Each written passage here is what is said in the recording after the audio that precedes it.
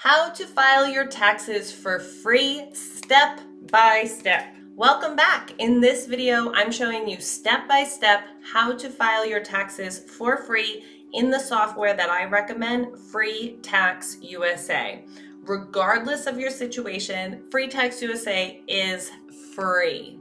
Amanda here, you're watching The Business Finance Coach, where I simplify everything about the technicalities of life, taxes, money, all of this stuff because I truly believe that the world needs what you have to offer and you shouldn't be weighed down and stressed out by these technicalities. If you're new here, consider subscribing while still watching this video and hit subscribe to be notified of new videos. Now let's jump into filing your taxes for free. So if you head to freetaxusa.com, you can see this is what it looks like if you click this start a free return, you're gonna get started on 2019 return, whatever the most recent tax year is that you can file. If you need to do a prior year return, come up to this prior year tab and you can select the year you want to do. Most softwares don't even let you do prior years, this many prior years. And that's another one of the reasons I really recommend and like Free Tax USA. So go ahead and start free return to get started. If you're a returning user, you'll click here to log in. A new user, you'll go ahead and create your account and then click the create new account button. On the next screen, you can see they're saying congratulations, you've successfully created your account. They're asking if you want to import your tax information for last year using like a prior year PDF. I don't typically recommend this once you enter your information for this year, going forward, your information will always be in here for you. I'm gonna click continue. Here, they're asking for, I just don't recommend uploading the PDF, you know, just enter the information. It's only gonna take a few minutes and we'll get to go over it together in this video. So right now they're just going over some instructions for getting around. You can see we're gonna move this way through these options and we can't click these other tabs yet because we're gonna move in order. But once we get through it once, you can go back to anything just by clicking that spot. Now you can see they talk here about how secure they are and how great they are. Continue. So now you're gonna put in personal information here. You can see at the bottom after you enter your personal information, can a parent or somebody else claim you as a dependent on their return? This is less of an issue these days because we don't have dependents anymore, but it does matter as far as credits and deductions, whether you qualify as someone's dependent. Most people will say no. Uh, and most people will leave all of these as no. Read through them and if it's if it's different, go ahead and change it, but these things generally don't apply to people. Save and continue. Filing status. So filing status is based uh, on the last day of the year. What was your status? Did you get married on the last day of the year, 1231? If so, you're married. If you're married, you can file married filing joint or married filing separately. It is not really an option though. Married filing separately has huge disadvantages. Rarely does that ever come out in a better situation because there's so many things that hurt you filing married, filing separate. It's really for that situation where you can't file with your spouse. That's what it's there for. Otherwise, if you're single 1231, then put single. If you're qualifying widower, that means that you had a spouse die in the last two years and you have a dependent that you take care of who lives with you. Head of household is similar. You're single, but you have a dependent and you maintain a house for them, head of household.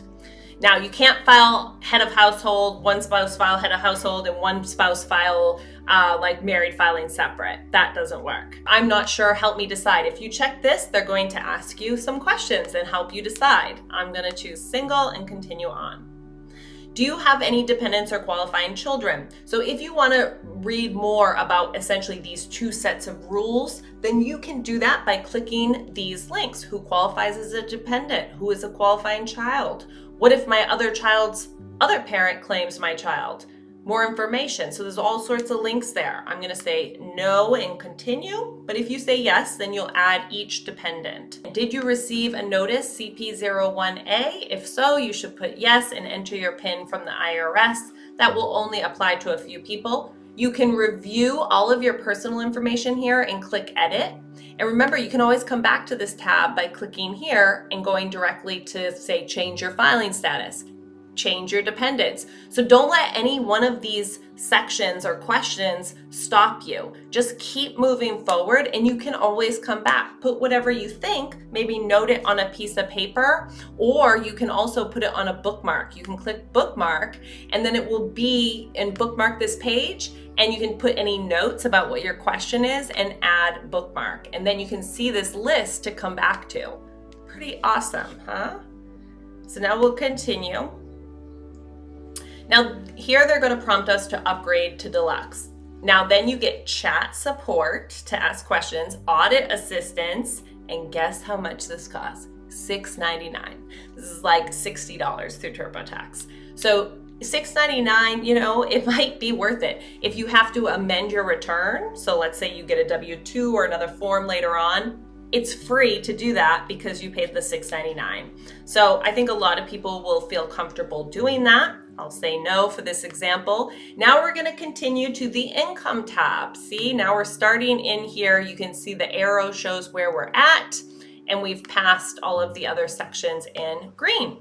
So do you wanna enter W-2s? Now let's say that you didn't have your W-2 yet.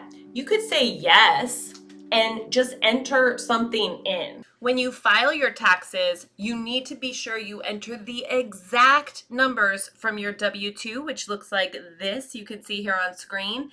And then you're going to line up box one, the first box, with box one. So I'm putting 50,000 for our example. Box one, three, and five are typically all the same amounts, your total wages. And then box two is your estimated tax withholding, which is the amount that we're actually calculating on your tax return. Boxes four and six are flat taxes, and so those are typically correct already. Finish entering everything exactly as it is on your W-2. Scroll to the bottom and click continue. Then you'll be able to select yes to enter another W-2 or no and continue. And then we come to the common income section. So this is listing all types of income that many people have wages, salaries, interest income. To the right of the description, you see the tax form that that type of income is reported on. And just like with the W-2, you want to enter that form exactly into the software. State tax refund and you itemize your deductions. You'll get 1099-G to enter. Retirement income, social security benefits, unemployment compensation, dividend income.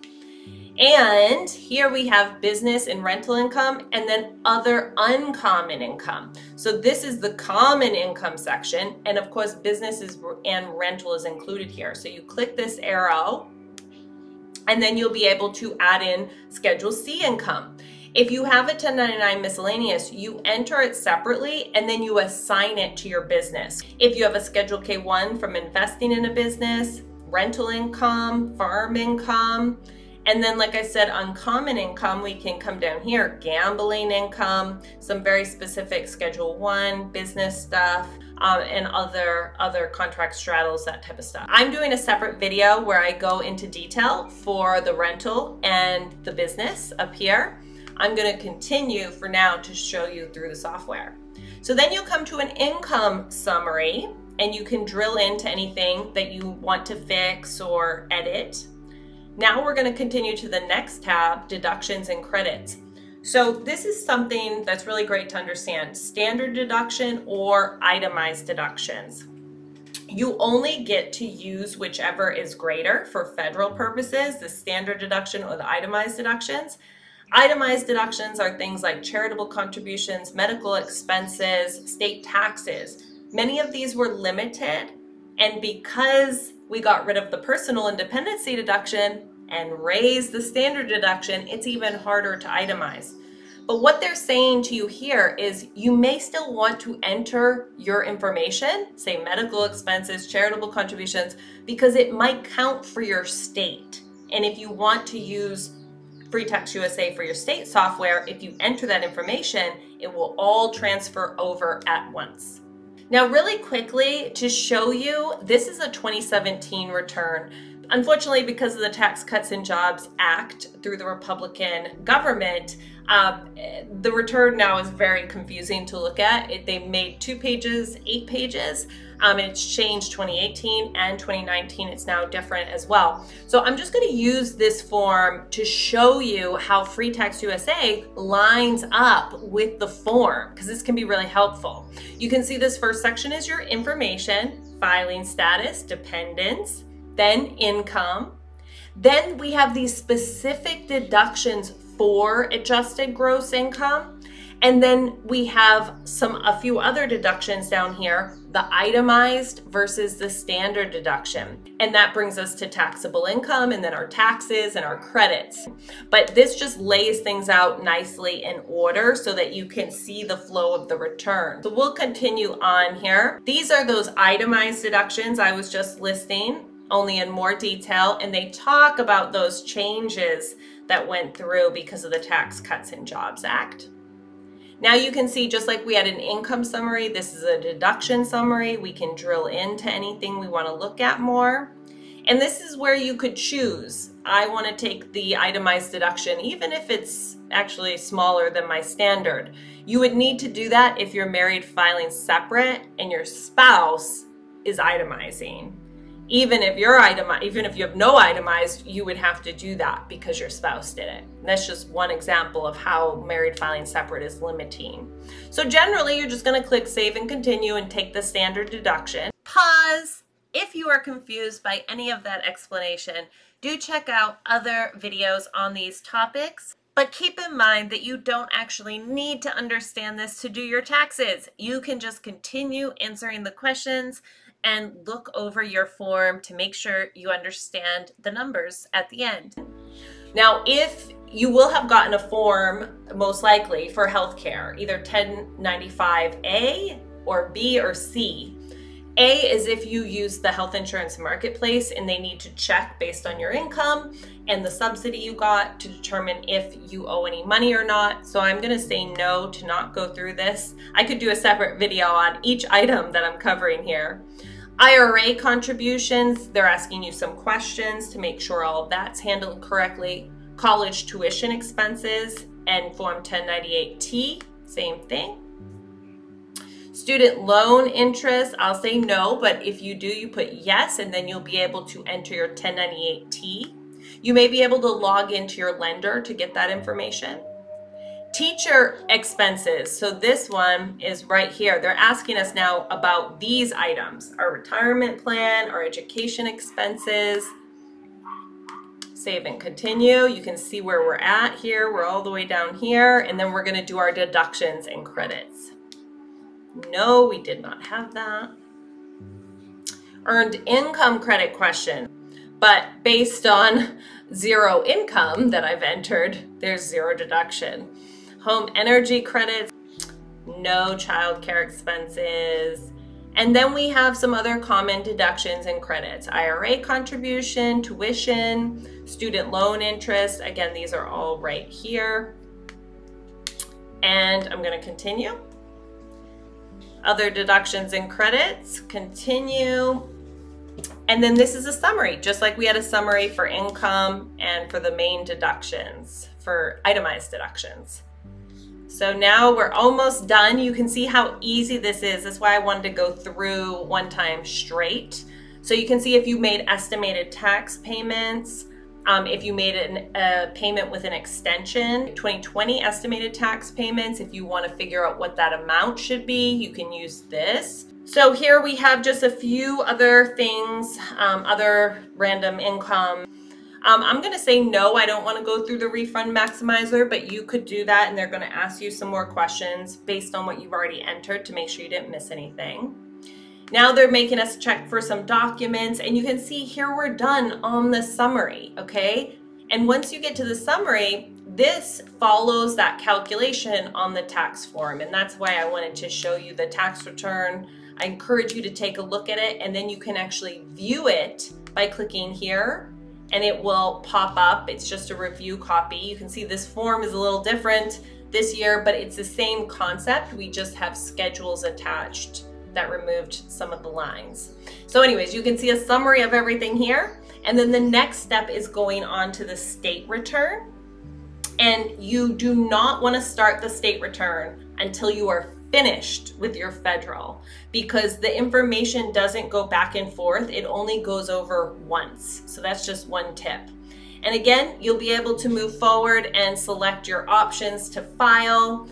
Once you finish going through all of your state questions, then you'll be onto the filing tab and just as you've seen so far, it's very straightforward. You just go through and answer the questions and you'll be able to e-file your return online or print it out and mail it in. All right, thanks for watching. I'd love to hear if you have any questions, what you think of the software, comment, like, share with someone who needs this video. And otherwise, there may be some other videos linked around here that you would like to watch. And I hope to see you in the next video. I wish you the best of luck with your taxes and do let me know if you run into any questions. I'd love to hear from you in the comments below. Bye.